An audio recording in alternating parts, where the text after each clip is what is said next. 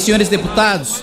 eu quero dizer aqui, primeiro, que sou a favor de, da manutenção do veto, porque considero um abuso a concentração de 30 bilhões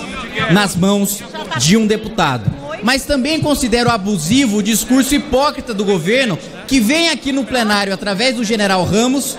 conversar com os líderes, fecha acordo, promete emenda e depois vai para o Palácio do Planalto falar que não sabia de nada, que está sofrendo golpe, que está tendo um complô do Congresso Nacional quando o presidente da República. Quando, na verdade, todos os líderes do governo e o então e agora líder do PSL, deputado Eduardo Bolsonaro, estava em plenário na votação da Lei de Diretrizes Orçamentárias, não destacou, não fez, não fez pedido de votação nominal, não pediu verificação, o governo faz acordo e depois diz que não sabe de absolutamente nada. E mais, apesar de, senhor presidente, setores do governo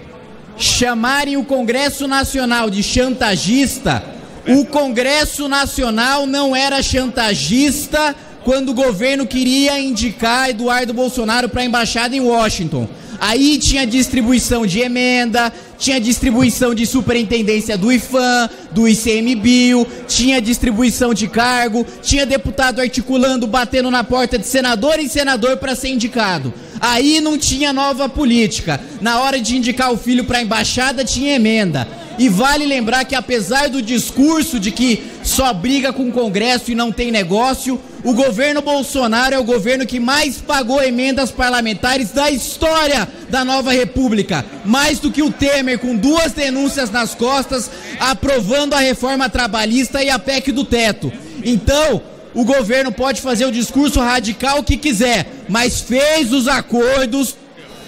prometeu as emendas, pagou as emendas e ataca o Congresso Nacional por pura hipocrisia, porque os líderes fizeram os acordos, fecharam com o general Ramos, fecharam com o governo e depois vai o Bolsonaro falar que está sendo golpeado pelo Congresso Nacional, que não sabe de nada do que está acontecendo. Se não sabia do que estava acontecendo, precisa destituir o próprio filho, líder Eduardo Bolsonaro, que deixou a votação ser simbólica, que não destacou e que não discursou contra, e precisa demitir o general Ramos, que veio em plenário pedir pessoalmente para os deputados votarem a LDO e a LOA como ela está hoje, sem o veto do presidente. Obrigado, senhor presidente.